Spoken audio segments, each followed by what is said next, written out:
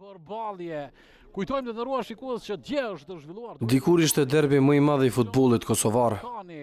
Me tjetër epitet dolën sot në fushë Prishtina dhe Besa.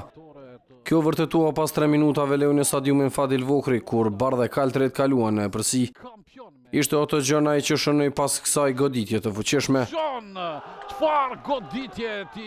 Pa u këndellur mirë Besa, i njëjti futbollist shënoi edhe golin e dytë. Ja Otto John, rast tjetër! E më pas të gjithë topat po shkonin në drejtim të John.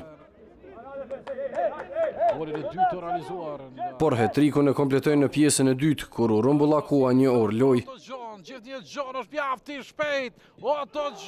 John e fitoi duelin e shpejtësisë me kundërshtarët për të shënuar golin e tretë. Në regull me pozitën e John, i cili...